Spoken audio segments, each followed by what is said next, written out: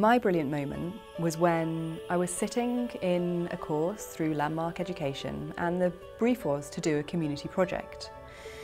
And I thought about all the women over the past few years who have asked me to make them a hat because they're going through chemotherapy. And I thought, actually, why don't I do a workshop for these women who are undergoing hair loss to come and make their own hat and to have it in an environment which is fun and creative and empowering. And that's when I came up with Hat Over Heels.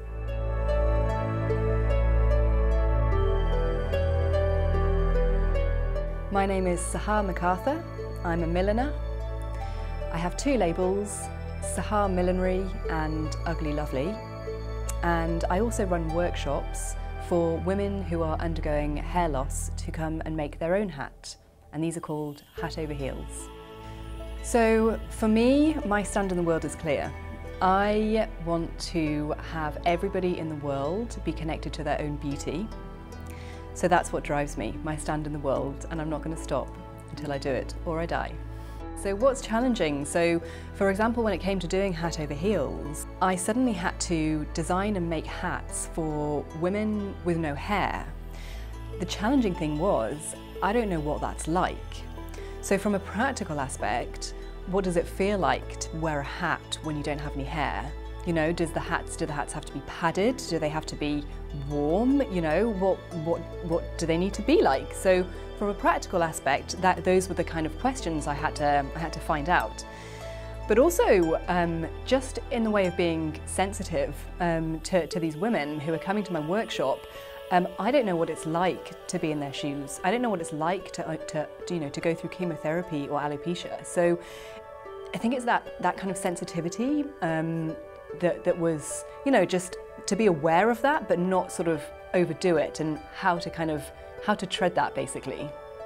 A lady called Lynn, she came into the workshop and she was beautiful. She had what looked like a, a full head of hair um, and it turned out it was a wig. And, and she was fine for the first few minutes. Um, but then when it came to the part where the women had to try on the, the sample hats to see what style they, they wanted to, to make, she suddenly got really hesitant and, and I could feel her just sort of, you know, going sort of small and and she said, you know, I, I'm never without my wig. She said, I, I, I came here because I want to be able to wear a hat without my wig.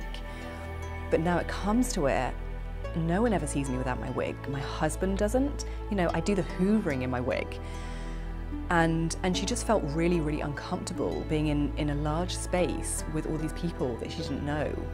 So there was a few awkward moments where, where she was taking off her wig and, and trying these hats on.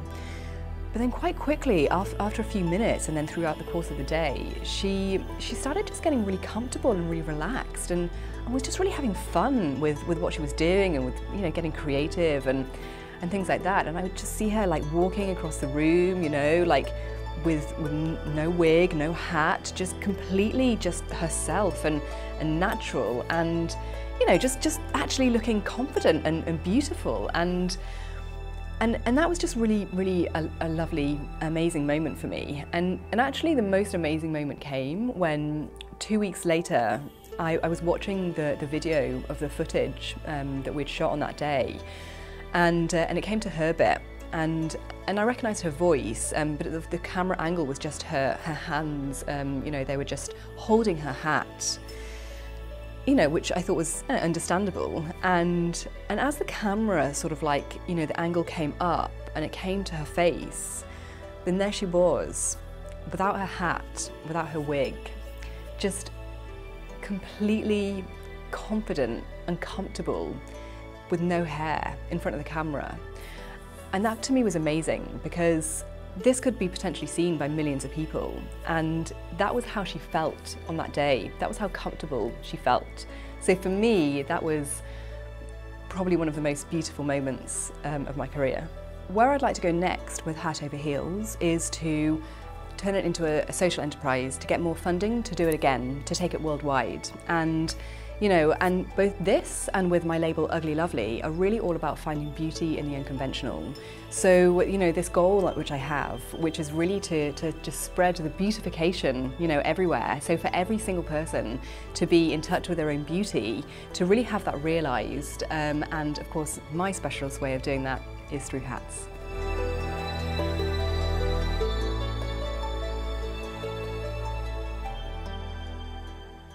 So my brilliant moment was um, happened uh, 15 years ago uh, when I first arrived in London. And um, I had studied acting and theatre and I was really keen to see uh, my first West End show. And uh, the first theatre I came across happened to be the Theatre Royal Haymarket. And I walked in and I booked a ticket and while I was there I discovered this pamphlet, this little leaflet uh, for this program called Masterclass that was there that offered free masterclasses with uh, leaders of the industry. And um, I thought why not, I'll come along to a couple of them. And that was my introduction, that was sort of my perfect moment because now I run that program. And 15 years later I'm a big part of influencing the next generation of young theatre makers.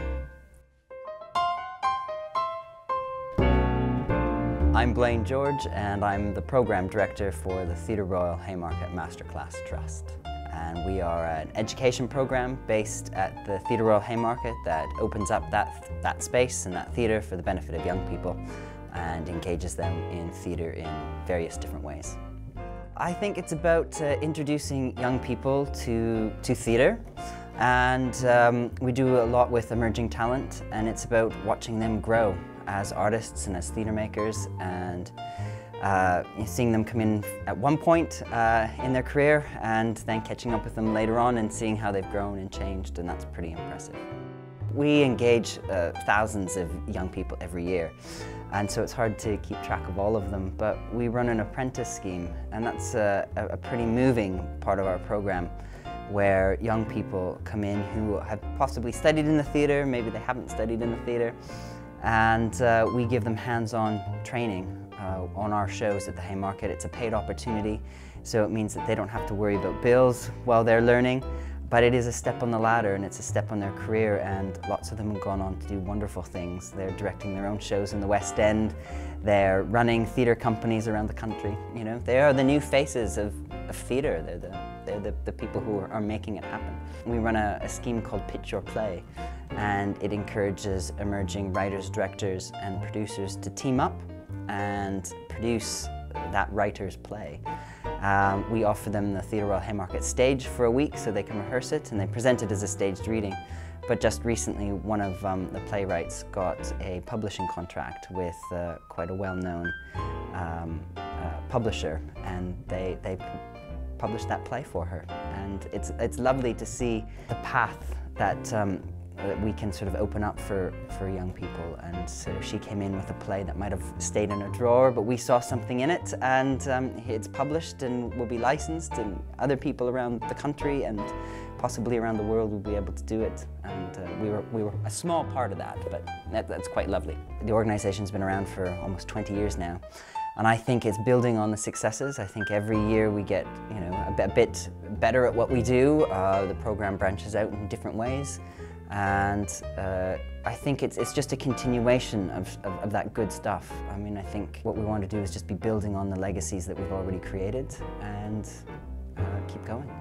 You know, there are cuts to the arts happening all the time. I think people get, young people get less exposure to the arts across all sectors, whether that's dance, uh, visual art, theatre, maybe less so music, but I think it's getting harder and harder for young people to find great opportunities to engage.